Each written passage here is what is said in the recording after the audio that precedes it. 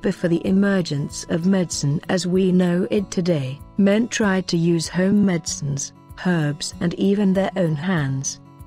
But as time passed, the drugs that we can find in pharmacies were taking the place of natural medicine, although some techniques, because they are extremely effective, are still used today.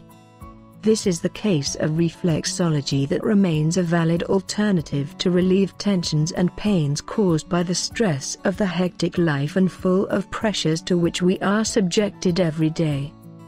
Facial reflexology is a branch that deals with the ailments of the organs and each point of the face corresponds to one of them.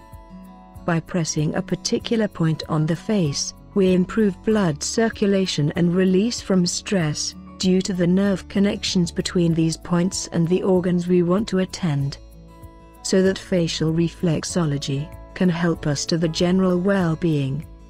Achieving balance in emotional blockages through reflexology can contribute to improving our health. An effective way to eliminate pain and get rid of stress naturally and without the need for medication.